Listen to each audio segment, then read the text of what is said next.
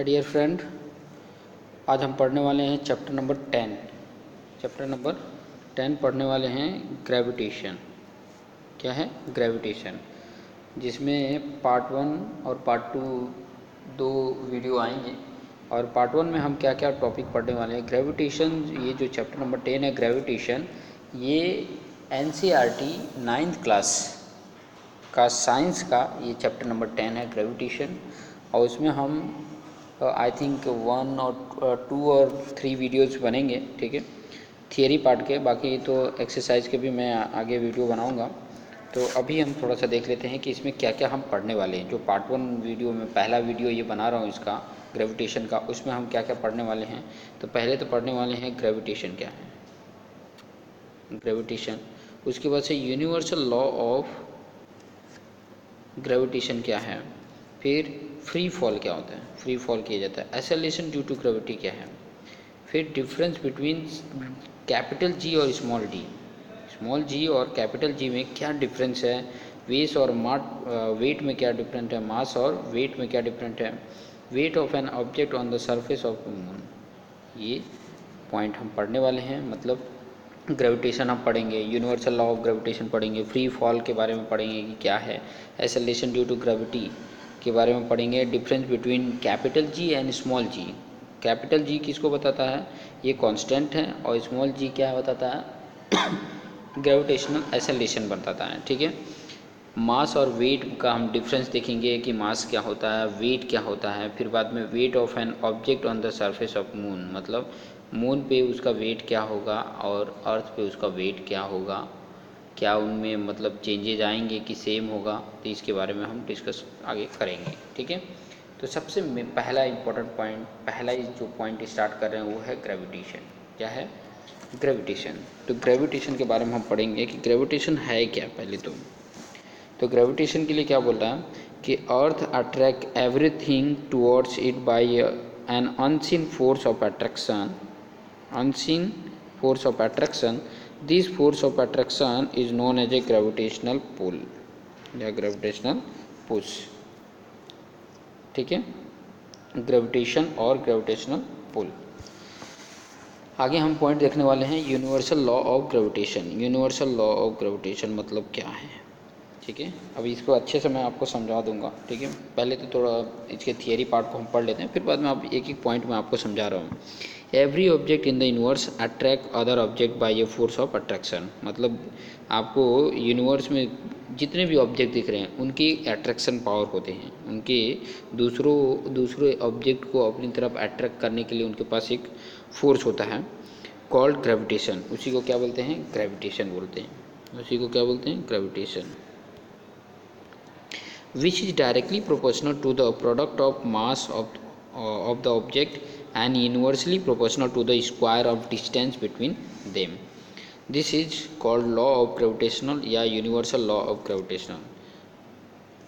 बहुत इम्पोर्टेंट है ये ये क्या कहना चाहते हैं देखिए every object in the universe attract other object by a force of attraction called gravitation which is directly proportion to जो ये फोर्स ऑफ़ अट्रैक्शन है, उसके बारे में बोला है कि is directly proportional to the product of mass मतलब दोनों के, जो एक दूसरे को अट्रैक्ट कर रहे हैं, उन दोनों का mass of the object and universally proportional to the square of distance between them मतलब उन दोनों के बीच का जो डिस्टेंस है, उनके स्क्वायर के इन्वर्सली प्रोपोर्शनल है। ठीक है? कहने का मतलब ये ये बता रहा है कि जो ये ग्रेविटेशनल फोर्स है, ये जो एफ़ है, पहला तो ये डायरेक्टली प्रोपोर्शनल है किसके? Product of M one into M two ठीक है? एम टू है। और दूसरा क्या बोल रहा है कि उसके इन्वर्सली प्रोपोर्शनल है। इन्वर्सली प्रोपोर्शनल मतलब वन अपॉन उनके बीच का डिस्टेंस मान लो डी यहाँ पे दिया है, यहाँ पे इंडिकेट डी है तो डी का स्क्वायर हो जाएगा। ये हो गया। अब इन दोनों को एक साथ अगर बोला जाएगा तो ये आपके पास इन्वर्सली प्रोपोर्शनल में आ जाएगा। जैसे किसी का मास लेट मास दिया हुआ है कि एक का मास कैपिटल एम है और दूसरे का स्मॉल एम है, ठीक है?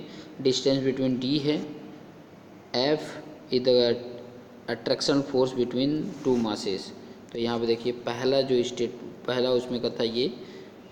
दोनों के प्रोडक्ट मास के प्रोडक्ट के इक्व मतलब डायरेक्टली प्रोपोर्शनल है और इन्वर्सली प्रोपोर्शनल टू देखिए, ये जो उनके बीच का डिस्टेंस है, उसके स्क्वायर के इन्वर्सली प्रोपोर्शनल और दोनों को साथ में देखेंगे तो ये आपका बन के आ जाता है। ये दोनों को साथ में देखा तो। और जब प्रोपोर्शन हटाते हैं तो उसके साथ एक कांस्टेंट आ जाता है जी ठीक है? तो G small capital M into small M upon D square ये आपके पास आ जाता है। बहुत इंपॉर्टेंट फार्मूला है कि अगर कोई भी दो ऑब्जेक्ट के बीच में अट्रैक्शन फोर्स फाइंड आउट करना है तो इसकी हेल्प से हम फाइंड आउट कर सकते हैं। अब देखिए जी क्या है? एक कांस्टेंट है, जिसको बोला जाता है ग्रेविटेशनल कांस्टेंट क्या बोला जाता है इसको? ग्रेविटेशनल कांस्टेंट बोलते हैं।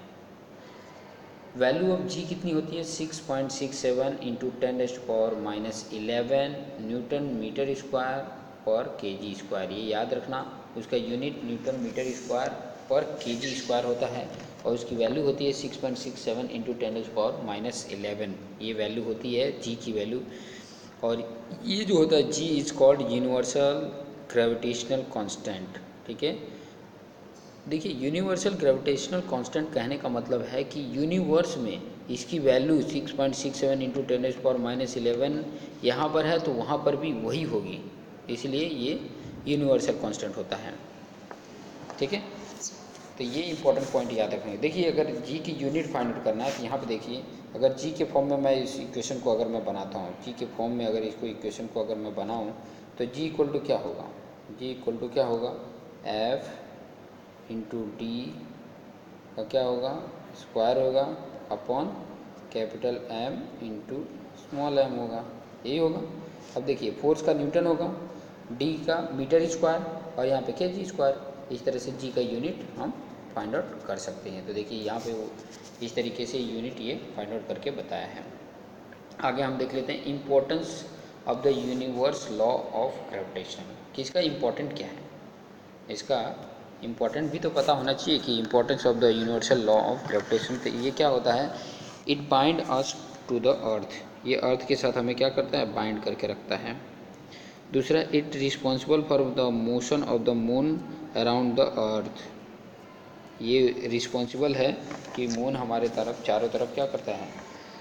राउंड लगाते रहता है। It is responsible for the motion of planet around the sun इसका ही एक रीजन है जिसके कारण सभी प्लानट क्या हैं? सन के चारों तरफ़ मोशन करते हैं। और लास्ट है gravitational force of moon causes tides in seas and earth ठीक है? तो ये सारे पॉइंट थे। Gravitational force of a moon causes tides in seas on the earth earth पे जो समुद्र है, उसके अंदर टाइड्स आने के कारण भी ग्रेविटेशनल फोर्स ही है। ठीक है? तो ये सारे थे इंपॉर्टेंट पॉइंट अब देखिए फ्री फॉल के बारे में हम पढ़ लेते हैं कि फ्री फॉल क्या है, ठीक फ्री फॉल क्या है? When when an object falls from any height under the influence of gravitational force only it is known as a free fall इसको क्या बोलते हैं? फ्री फॉल बोलते हैं। तो मतलब किसी भी ऑब्जेक्ट को हम किसी एक पर्टिकुलर हाइट से उसको क्या कर देते हैं? फॉल कर देते हैं, ठीक है? छोड़ देते हैं। तो with the help of gravitational force वो क्या होगा? नीचे की तरफ़ आएगा। और नीचे की तरफ़ आ रहा है तो उसी को क्या बोलते हैं? फ्री फॉल बोलते हैं। ये पॉइंट भी आपने ध्यान में रखना है। नेक्स्ट है acceleration due to gravity next क्या है? एसलेशन ड्यू टू ग्रेविटी तो एसलेशन ड्यू टू ग्रेविटी में हम क्या पढ़ने वाले हैं? When an object falls toward the earth मतलब अर्थ की तरफ़ जब कोई, भी ऑब्जेक्ट को गिराते हैं there is a change in its acceleration due to gravitational force of the earth so, the acceleration to, so this acceleration is called as acceleration due to gravity. उसको भी बोला जाता है एसलेशन ड्यू टू ग्रेविटी तो acceleration due to gravity को जी denote करते हैं small G से। किससे डिनोट करते हैं? स्मॉल जी से। और कैपिटल जी को ग्रेविटेशनल कांस्टेंट है। स्मॉल जी ग्रेविटेशनल एसलेशन बोल सकते हो, या तो एसलेशन ड्यू टू ग्रेविटी इसका यूनिट क्या होता है? मीटर पर सेकेंड स्क्वायर जो एसलेशन का यूनिट होता है, वही ग्रेविटेशनल एसोल्यूशन का यूनिट होता है। अब देखिए मैथमेटिकल एक्सप्रेशन फॉर जी के लिए मैथमेटिकल ऑपरेशन एक्सप्रेशन देते हैं, कैसे है? तो देखिए from the second law of motion जो हमने मोशन वाले चैप्टर में भी पढ़ा वो, उसमें चैप्टर में हमने इसके बारे में बताया भी है कि force is product of mass and acceleration force का डेफिनेशंस भी बोल सकते हैं। For a free fall acceleration is replace by acceleration due to gravity मतलब ए की जगह पे क्या हो जाता है? जी हो जाता है। अब but from universal law of gravitational F equal to G M capital M into a small M upon D square है। ये तीन इक्वेशन इक्वेशन हुए, दूसरा इक्वेशन अब इसमें क्या हुआ है कि एफ़ की जगह पर हमने क्या कर दिया? एम जी वैल्यू पुट कर दिया है। एफ़ की जगह पर क्या पुट कर दिया? एम जी जो फ़र्स्ट इक्वेशन का था, वो वैल्यू पुट कर दिया। तो जी इक्वल टू क्या हो जाएगा? देखो एम इसका और इसका एम कैंसिल हो गया तो G capital M upon T square आ जाता है। तो ये एक फॉर्मूला आपके पास आ जाता है। जी के एक्सप्रेशन में कैपिटल जी मतलब gravitational constant into mass of the earth divide by D square ठीक है? तो इस तरीके से हम जी और कैपिटल जी के बीच में रिलेशंस भी इस तरीके से हम बता सकते हैं। अगर ऐसा कोई क्वेश्चन पूछते हैं कि स्मॉल जी और कैपिटल जी का एक दूसरे के साथ क्या रिलेशन है तो ये रिलेशन बताता है। ठीक है? क्या बताता है? ये रिलेशन बताता है। आगे क्या पॉइंट बोला है कि when M is the mass of earth and D is the distance between the object and the earth for object near और on the surface of the earth distance D is equal to the radius of the earth R जो D था वो are हो गया। तो क्या value हो गया? ये वैल्यू टी की वैल्यू इस फॉर्म में आ जाती है। ठीक है? इस तरीके से हम जितने भी इम्पोर्टेंट पॉइंट मैं बताते जा रहा हूँ, वो सारे इम्पोर्टेंट पॉइंट आप देखते जाइए कि ताकि आपका जो भी इस चैप्टर से रिलेटेड कन्फ्यूज़न होगा, वो आपका कन्फ्यूज़न दूर हो सके।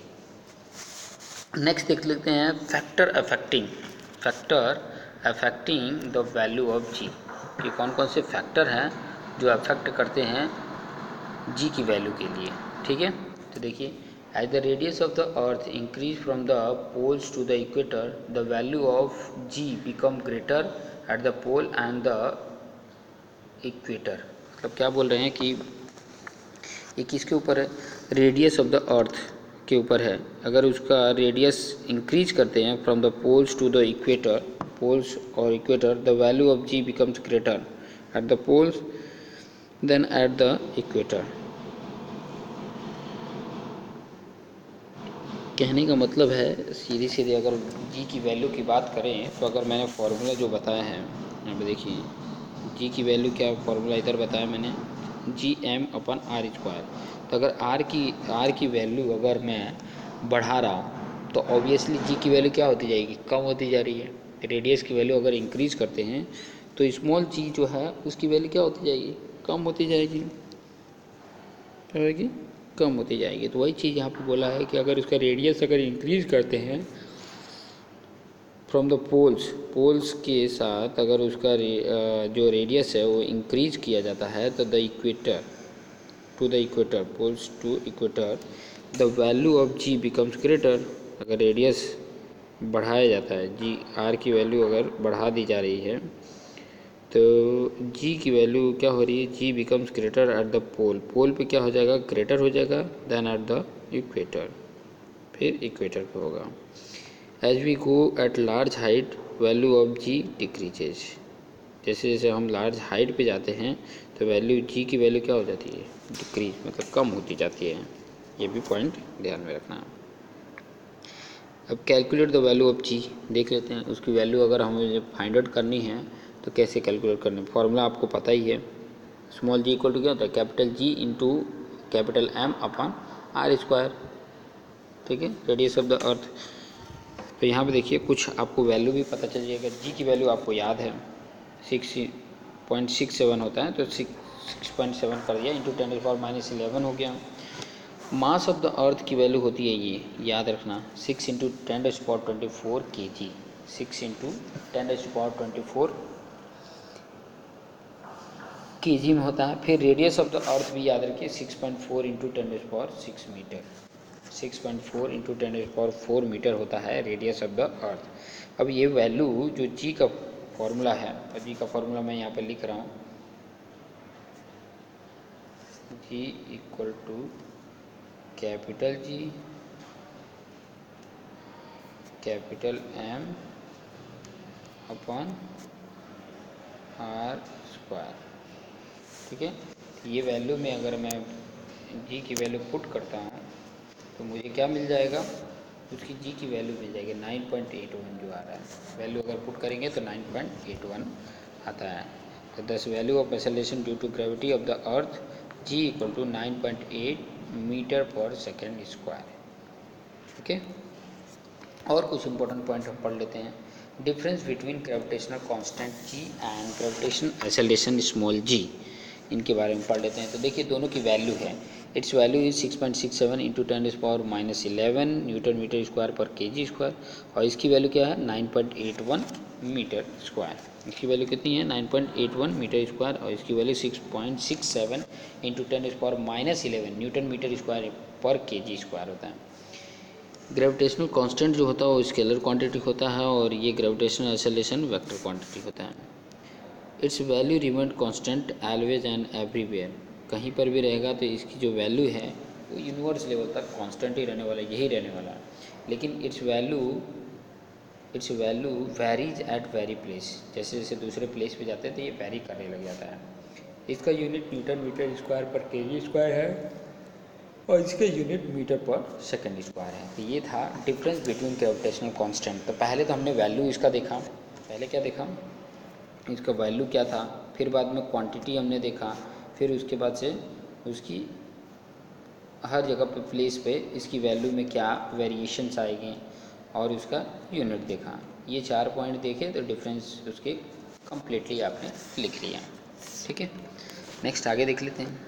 Motion of object under the influence of gravitational force of the earth motion of object under the influence of gravitational force of the earth तो यहाँ पे उसी चीज़ को एक्सप्रेस करें। Let an object is falling toward earth with initial velocity u let its velocity under the effect of gravitational acceleration g change to v after covering the height h in time t then the three equation of motion can be express velocity after t second v equal to u plus g h t height covered in t second h equal to u t plus half g t square में हो जाएगा। Relation between v and u v square equal to u square plus two g h मतलब जहाँ ए था, वहाँ पर हमने क्या कर दिया?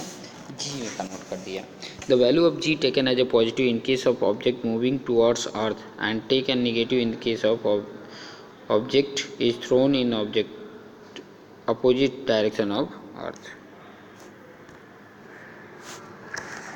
अब वे वे मास और वेट के बारे में थोड़ा देख लेते हैं। मास क्या होता है, वेट क्या होता है, ओके? मास के बारे में और वेट के बारे में देख लेते हैं। तो मास क्या होता है? The mass of a body is the quantity of matter content in it ठीक है? कोई भी मतलब मैटर में कितना मतलब कित, कोई भी ऑब्जेक्ट में कितनी क्वांटिटी का मैटर कंटेंट है, उसी को बोला जाता है mass. Mass is a scalar quantity which has magnitude but no direction. Mass of a body always remains constant, does not change from place to place mass हमेशा क्या होता है? सेम ही रहता है। ये यहाँ पे बहुत इंपॉर्टेंट पॉइंट मैं बताने वाला हूँ कि मास हर जगह पर सेम ही रहेगा। ऐसा नहीं है कि आप यहाँ पर हो तो कुछ और मास होगा, आप किसी और जगह पे चले गए तो उसका मास कुछ और हो जाएगा। नहीं मास कहीं पर भी रहेंगे। चाहे आप अर्थ पे हैं, चाहे मून पे हैं, चाहे कोई भी प्लानट पे चले जाएँ मास अगर मान लो 50 के है तो 50 के ही रहने वाली है। वो चेंज नहीं होने वाली है। तो ये पॉइंट भी ध्यान रखना तीसरा वाला। फिर चौथा क्या बोला? ऐसा यूनिट ऑफ़ मास क्या होता है? किलोग्राम फिर mass of a body can never be zero किसी भी मतलब बॉडी का मास ज़ीरो कभी नहीं हो सकता है। ठीक है? ज़ीरो कहने का मतलब वो है ही नहीं है।